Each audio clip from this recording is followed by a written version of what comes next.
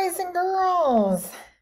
Remember yesterday we were reading about Nate the Great Goes Undercover?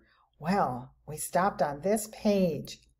We're going to start right here. You see where I am? I, Nate the Great, have found out who did not take your garbage. A person did not take your garbage. Well, you took it, Oliver said. That is the part that is not solved, I said. I, Nate the Great, say that an animal or a bird took it. An animal or a bird that goes out in the night. I will find out what and I will be back. Sometimes I, Nate the Great, need help. I went to the library. Good place to go. I read about birds that go out in the night. They are called strigiforms and Caprimulgiforms.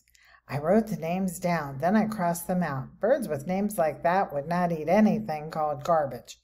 Then I read about cats, rats, bats, mice, shrews, skunks, raccoons, opossums, and moles. They all go out at night.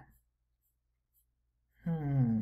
I read about what they like and what they do not like. Then I went home. Oliver came over. Oh, he's the annoying neighbor, remember? Oliver came over. I said, a cat, a rat, bat, mouse, shrew, skunk, raccoon, opossum, or mole is taking your garbage. Which one? Oliver asked. I don't know, but tonight I, Nate the Great, will find out. I left a note from my mother. Dear Mother, I am sleeping out tonight. I am taking a blanket. I am taking pancakes. I will be back. Love, Nate the Great.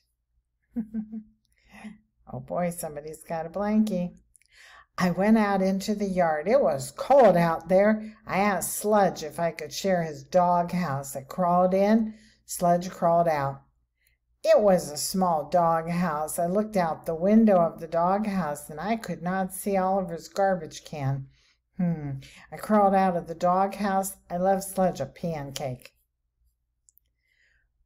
Where could I hide? Hmm. I, Nate the Great, knew where to hide. In the garbage can.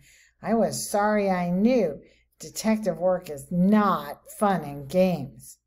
Detective work is dirty garbage cans instead of clean beds. Detective work is banana peels dish rags, milk cartons, floor sweepings, cigar ashes, pew, fleas, and me all together in one can.